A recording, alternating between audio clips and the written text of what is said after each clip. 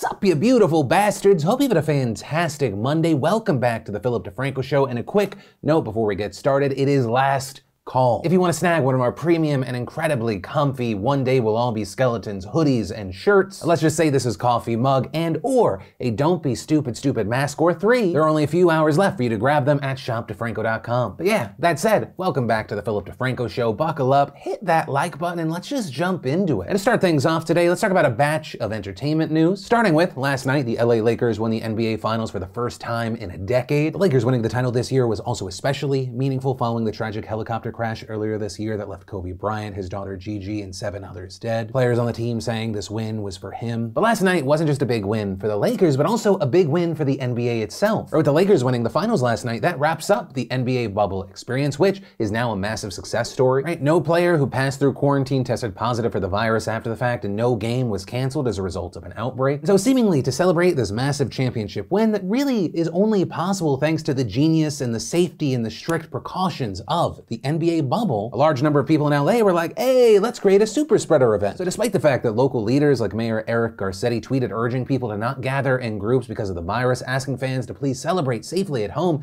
do not gather at the Staples Center, we ended up seeing very large gatherings, and eventually the LAPD actually had to declare an unlawful assembly and begin arresting those refusing to leave. And actually, according to an update, the LAPD said 76 people were arrested, eight officers were injured, over 30 buildings were damaged. There was that. Then, on Saturday, we had Wonder Woman star Gal Gadot announcing announcing that she'll be playing Cleopatra in an upcoming Paramount film. And while we've seen many people excited about the new project, there have also been split reactions to Gal playing the Queen of Egypt. Right, in this because Gal is Israeli, so we saw tweets like, so there were no Egyptian women to play um, an Egyptian queen, and which Hollywood dumbass thought it would be a good idea to cast an Israeli actress as Cleopatra, a very bland-looking one, instead of a stunning Arab actress like Nadine Njeim. And shame on you, Gal Gadot, your country steals Arab land, and you're stealing their movie role. Shake my head. You also had others saying Hollywood was creating another whitewash portrayal of Cleopatra. There, even though Cleopatra was an Egyptian ruler, many pointed out that she was actually of Macedonian Greek descent. Still, her full ancestry is complicated and has also been long debated. Right, I was unaware of this, but uh, her mother's identity is unknown. Some scholars even say that she had Persian and Syrian ancestry too. Though, Gal wasn't the only actress sparking outrage over the weekend. You had Vanessa Hudgens. This because over the weekend she posted a photo of herself posing in front of tombstones in New York's Sleepy Hollow Cemetery, in the caption calling it her happy place, and quickly after that she faced backlash, some calling it disrespectful, others saying tone deaf, with people arguing that it is especially insensitive to do at a time when over 1 million people have died from coronavirus worldwide, over 215,000 of which have died in the US alone. And possibly because of that reaction, Vanessa changed the caption to searching for that headless horseman. But even with that, the situation then continued to grow because she continued to post more pictures of her cemetery photo shoot. Right, so you had people saying, you know, even separate from COVID, writing things like, this is disrespectful, you're prancing around like it's some amusement park. The caption is just why. Clearly, you have never been to a burial. It's not a happy place for anyone. And to that, Vanessa actually responded with, I buried my father in a cemetery.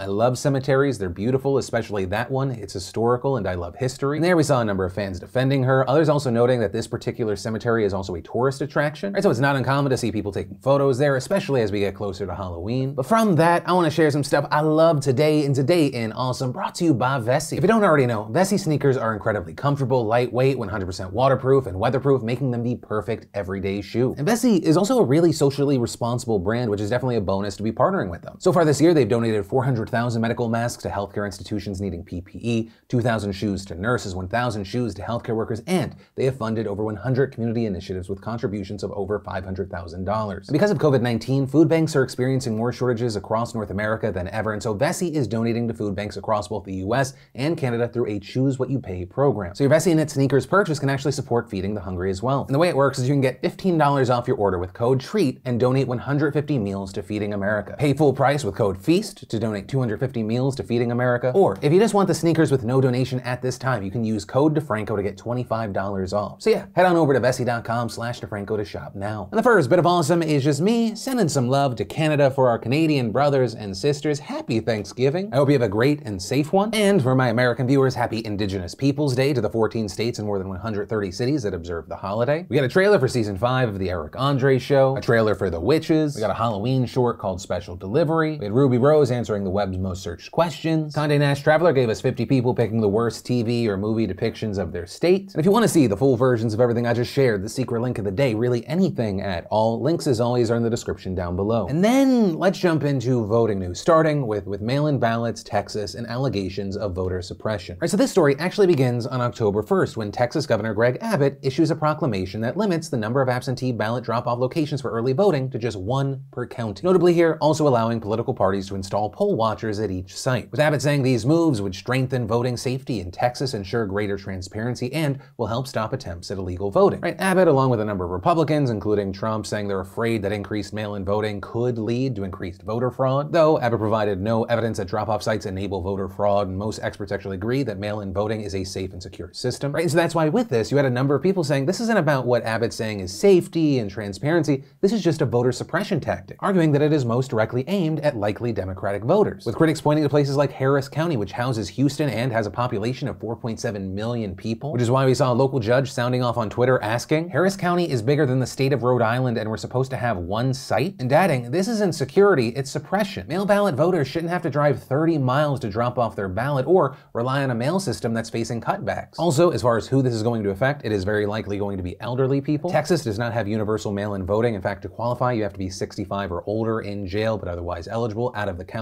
for the election or cite a disability or illness. Which is why we saw a number of civic groups, including the Texas Alliance for Retired Americans, challenging this move, filing lawsuits against Abbott's order, arguing that it will make absentee voting harder, despite the fact that more Texans than ever are expected to vote this way. Right, but main thing, that proclamation ends up taking effect the next day on October 2nd. However, all of that changed this last Friday when we saw U.S. District Judge Robert Pittman ruling against that order, calling it perplexing since the proclamation only applies to the early voting period and still actually allows for multiple drop-off locations on election day, saying the state's own approval of counties using satellite ballot return centers on election day belies their assertion that those same ballot return centers present ballot security concerns. And in his decision, Pittman also noted that many counties had already announced their plans to set up multiple drop-off locations prior to Abbott's proclamation. In fact, ballots had already started to be collected in places like Harris County, which had designated a dozen ballot drop-off locations in clerk offices. And look, the idea of having multiple drop-off locations was something that has already been cleared with state officials. Just a day before Abbott's proclamation in response to another lawsuit, Texas Solicitor General Kyle Hawkins said that Harris County's multiple drop-off locations were legal. Also, with this decision from Pittman, he hits on five key impacts. One, that it creates voter confusion. Two, that it causes absentee voters to travel further distances. Three,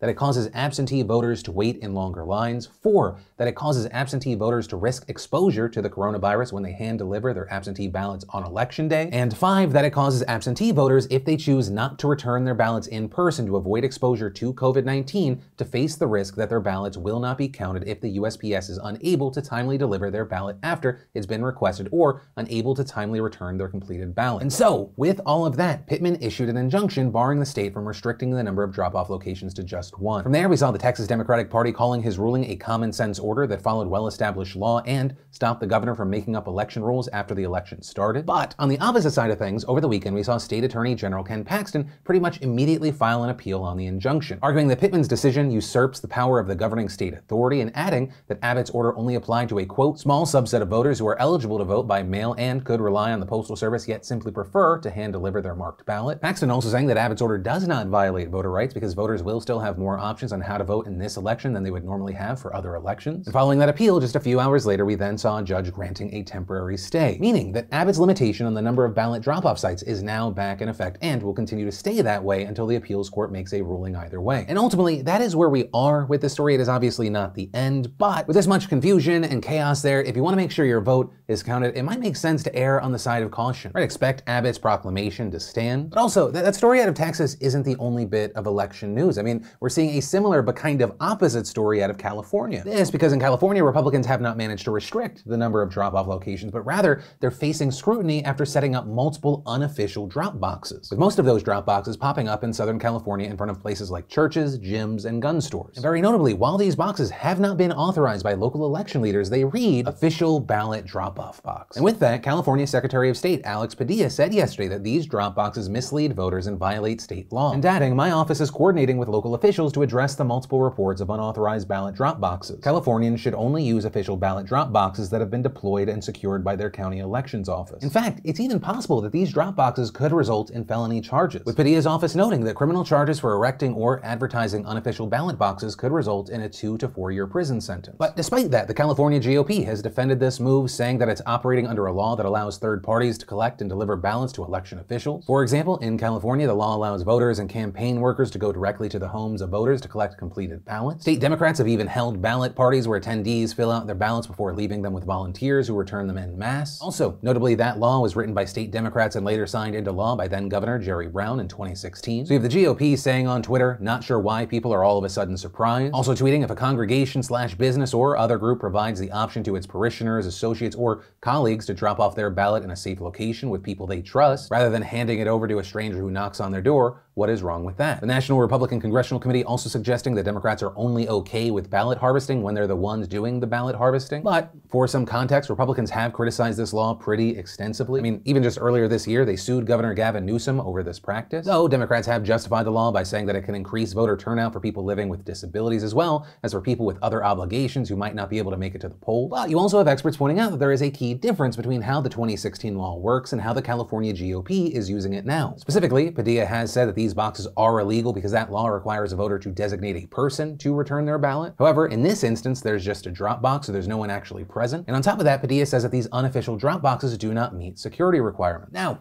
all that said, as far as what happens from here, Padilla's office has said that it'll be sending updated guidance to both Democrats and Republicans, warning them that they could face criminal charges if they use unsanctioned drop boxes. And if you are in California, you can go to the Secretary of State's website, I'll link to it down below, to find official drop off locations. And the thing is, I know the big stories here, you have Texas and California, but it's not limited to just these two states. There's a lot of back and forth happening all over the country about what is and is not legal when it comes to voting. For example, a federal judge has now denied the Trump campaign and the Republican Party's attempts to make drop boxes in Pennsylvania unconstitutional. In North Carolina, right now, at least 6,800 ballots are in limbo because of errors voters made while filling out those ballots. While the state's Board of Elections said last month that it would allow voters to fix those errors, a federal judge halted that plan on October 3rd, arguing that it changed the rules too close to election day. Right, and with North Carolina, for example, that is a key swing state. Trump and Biden are in a very tight race there. Even back in 2008, Barack Obama only won it by 14,000 votes. And ultimately, with these stories, where I want to end isn't just, man, that's so crazy and so confusing. Yes, it is, but also the hope of videos like this or dedicating time in a video to a story like this